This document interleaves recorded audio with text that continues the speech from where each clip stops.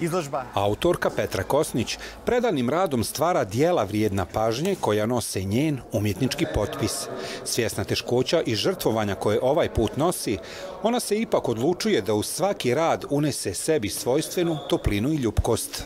One su rađene najtradicionalnijom tehnikom mogućom, to je jajčana emulzija sa prirodnim pigmentima i 24-karatnom pozlatom.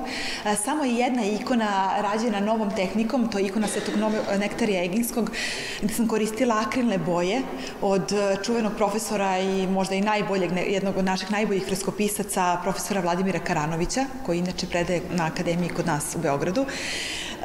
Tako da čini mi se da sve moje ikone karakteristiš, karakteristiše jedan stil, a to je da kažemo tradicionalni pravoslavni stil. Ja se trudim da ostanem apsolutno u vizantijskom kanonu, ali da kroz neku um, igru svetala, postavke, boja, um, da kažemo poigravanja sa samom emulzijom i kroz naravno stilizaciju lika ostavim neki svoj lični pečat i čini mi se da, da, da kažemo, ljudi to prepoznaju.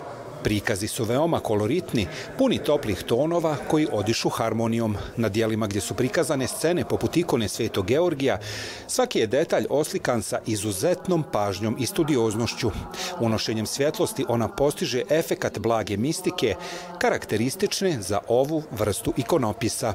Nikada ne volim da kopiram stare majstore, da bude apsolutno neka kopija neke stare ikone, već da to bude originalni rad, autentičan rad i zaista ja i kad mi poruče, na primjer, dve iste ikone, ja nikada ne mogu da naslikam istu ikonu, jer ikone su žive, zato se i to zove živopis, jer vi na taj način um, oživljavate lik svetitelja koga slikate i samim tim nikad, nikad ikona ne može da bude kopija, već uvek je original sama po sebi.